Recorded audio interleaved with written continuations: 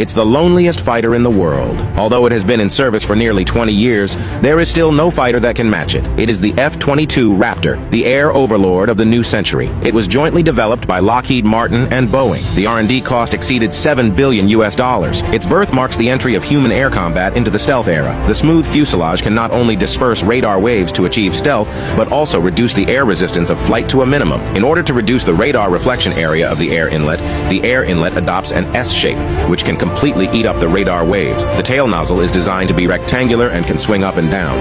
This is also to reduce the radar reflection cross-section. In addition, its key parts are coated with stealth coating. All weapon attachment points are designed with built-in magazines. The overall appearance design and detail processing make its reflection cross-section on the radar less than 0.1 square feet. It is equivalent to the size of a grain of rice. F-22 can cruise at a speed of 1.8 Mach without using afterburner. It can also easily fly vertically 90 degrees upward. Its bomb load is up to 5,000 pounds, can carry 6 AIM-120 air-to-air missiles and two AIM-9 Sidewinder missiles. With advanced stealth technology, maneuverability, and powerful situational awareness system, the F-22 has always been regarded as the best fighter with the best overall performance in the world today.